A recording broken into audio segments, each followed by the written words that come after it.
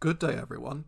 Dr. Polaris here, and I hope you all had a Merry Christmas despite it being 2020. Today's episode will be concerned with the true archosaurs. These reptiles first appeared during the early Triassic period in the aftermath of the Permian mass extinction, and would go on to dominate terrestrial environments for approximately 185 million years.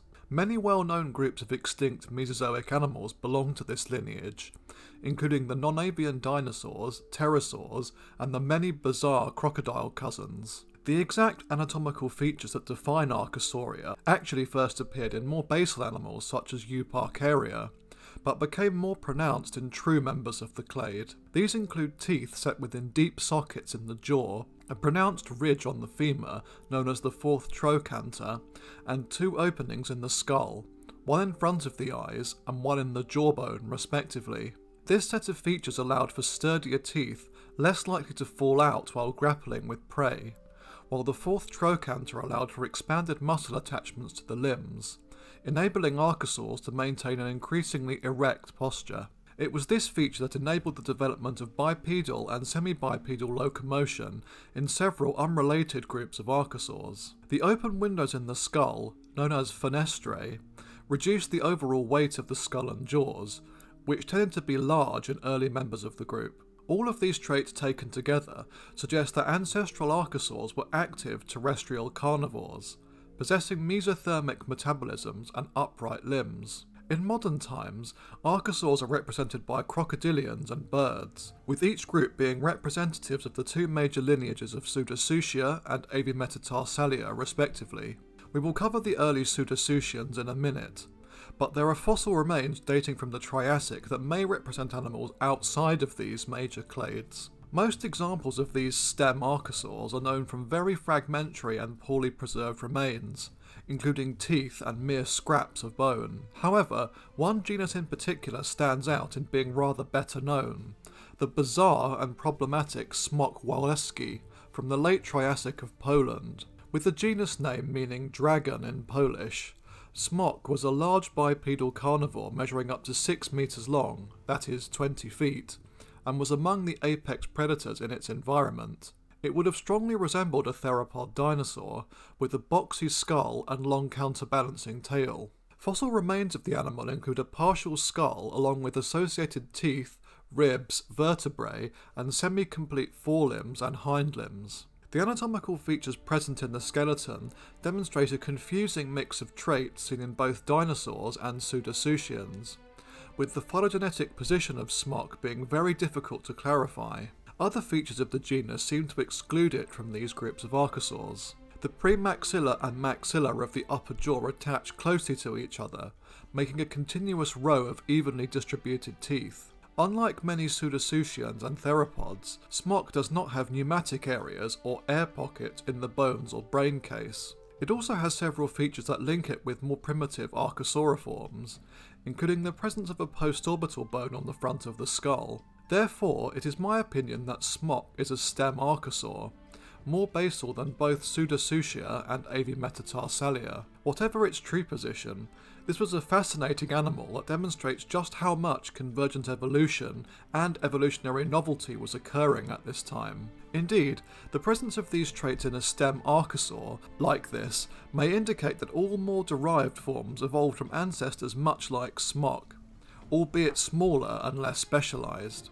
This would make sense given that the earliest members of Pseudosuchia were also facultative bipeds, very much unlike their living crocodilian relatives. As a clade, Pseudosuchia contains a staggering diversity of forms from just the Triassic alone, and includes all archosaurs more closely related to crocodiles than to dinosaurs. These animals inhabited a variety of ecological niches, ranging from large terrestrial carnivores, semi-aquatic piscivores, small fast-running hunters, and heavily armoured herbivores. Some members of the clade Poposauroidea were also startlingly dinosaur-like, in being fully bipedal and with certain genera possessing toothless beaks. Pseudosuchians differ from their Avemetatarsalian cousins in a number of ways, including a large and heavy nature of their skulls, the short and strong neck, the protective ridges of osteoderms along their back, and a variety of different limb postures. These traits were present in the most basal pseudosuchians, the ornithosuchids. Hailing from the middle to late Triassic of Eurasia and South America, these were facultative bipedal carnivores with distinctively downturned snouts and active terrestrial lifestyles. Four genera are known, which tend to measure up to 4 metres or 13 feet long in length.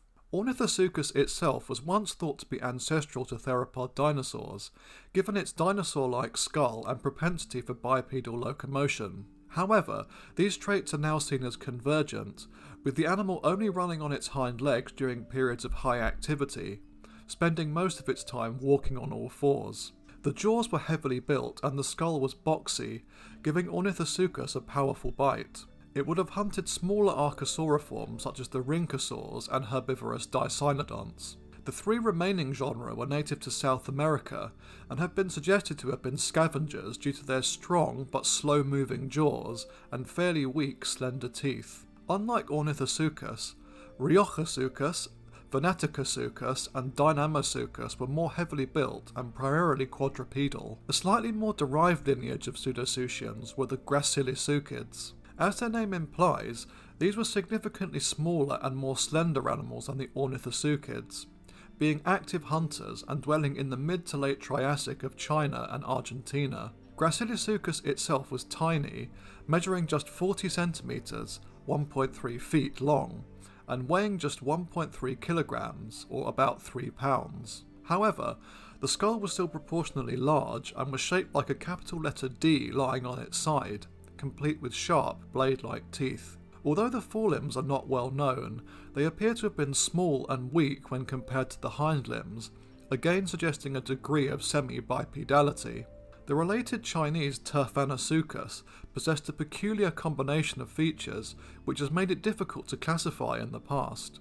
The genus retained teeth on the palate, which is a feature very rarely seen in archosaurs, but common in more basal animals such as Euparkeria. On the other hand, the ankle and skull construction were far more similar to those of true archosaurs. For many decades, it and its close relatives were hard to place phylogenetically, but a 2014 study has suggested that the genus belongs to the family Gracilisuchidae in a basal position within Pseudosuchia. The limbs were slender and semi-erect, a feature also present in the similarly Chinese Yonghesuchus. All of these animals would have been active hunters of small prey, shredding them with their monitor lizard-like teeth. Although these basal forms were entirely carnivorous, other lineages of pseudosuchians would experiment with herbivory, a trajectory that will be covered in a future video. Thanks for watching everyone. I'll be back in the new year with an episode focused on more Alter Earth content, so I'll see you again soon. Cheerio.